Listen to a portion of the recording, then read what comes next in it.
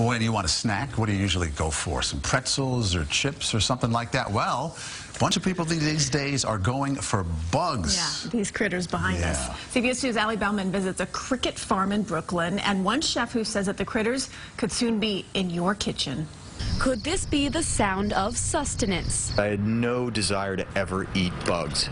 It's just not going to happen. But after harvesting thousands of crickets in these bio units at the Brooklyn Navy Yard, Mitch Joachim is changing his chirp. He says eating crickets isn't just good for our health, it's good for our planet. So it's around 200% less water to make the same gram of protein from a cricket than it would be from something like a uh, cow. The bug farm was developed to study cheap protein alternatives for developing countries. But once this farmer saw how little space and water crickets require, he decided to bring them to the concrete jungle. Wouldn't this make sense to have in Brooklyn and use it as a really high-tech, super sanitary farm, which it, act- which it is, for the production of free-range crickets for consumption uh, in restaurants here locally in Brooklyn? So the question became, how do you convince people to eat bugs? Well, you make them into snack bites. They taste pretty good. Crickets are described often as having a nutty or an earthy flavor, and they just happen to pair well with, with spices such as, you know, pepper and ginger,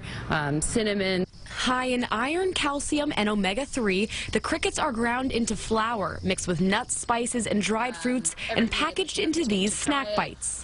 Joachim is bringing in more bio units and working with local chefs to expand the farm into a business. But you can get the equivalent of a steak uh, as far as protein uh, with insect powder.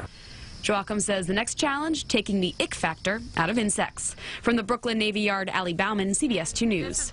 No. Not yet. All natural. No. All natural. Really? Well, so are cockroaches. What's next? You never know. Oh, Protein. boy. All right. That's going to do it for us here at 5. We'll see you again at 11. The news at 6 starts right now.